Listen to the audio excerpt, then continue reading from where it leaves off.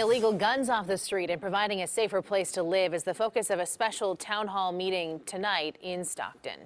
Our mission is to turn a would-be gun offender into a taxpayer or rehabilitated citizen.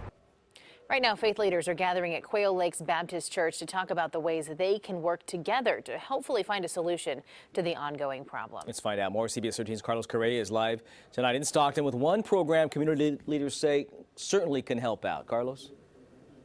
And good evening to you. Community members will be hearing about an innovative program called Gun Bail, which uses an app on your smartphone to help remove illegal guns from off the street. It's an idea business owner Trevor Brooks hopes to one day bring to cities around the country.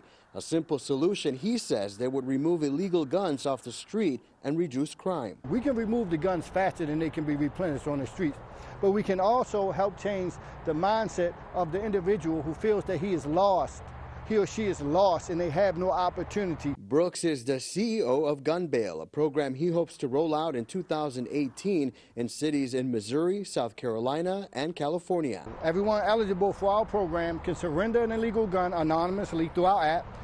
They will be processed and released on non-financial bail release for surrendering that gun, and then they will be funneled into job training, job placement, mental health, or drug uh, treatment. Gun bail is just one of the many programs planned to be discussed at a special town hall meeting in Stockton, where the number of homicides for this year has already reached 46. We want to get out of the day. There's hope that there are solutions. There are a lot of good things that are happening uh, in the community already but there are some more things that need to be done. Williams hopes the town hall meeting will be a starting point for residents and members of all congregations to come together in search for ways to reduce crime. What motivated me to do this, I just did a funeral a few weeks ago.